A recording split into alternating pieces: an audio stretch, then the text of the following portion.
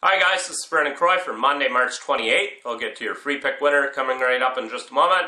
First of all, make sure that you subscribe to my YouTube channel right now for free daily winners. You'll get an instant notification every time I post a free pick.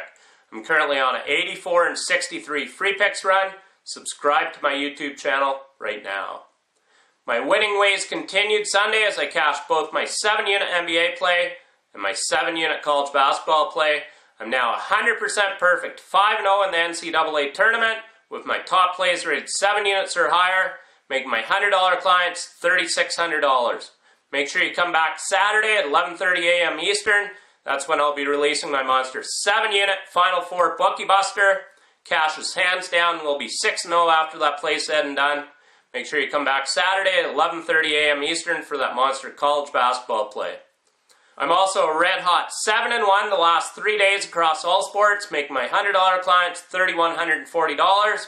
I'm also currently on a monster $3,140 NBA top play run with my plays rated 7 units or higher.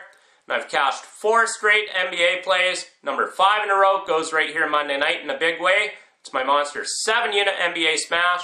You can get it right now on the premium picks page exclusively at DocSports.com. So I look to absolutely hammer the Bucks once again here Monday night. I also have a four-unit NHL smash. I've cashed two straight NHL plays. Number three in a row goes right here Monday night. Get my plays right now exclusively at DocSports.com. I'm also currently on a monster 75% college basketball top sides play run with my plays rated 6 units or higher, making my $100 clients $5,640. Make sure you come back Saturday and grab my Monster 7 unit college basketball Final Four Bookie Buster. I love the play. Cash is hands down. Come back and get that play Saturday at 11.30 a.m. Eastern exclusively at DocSports.com.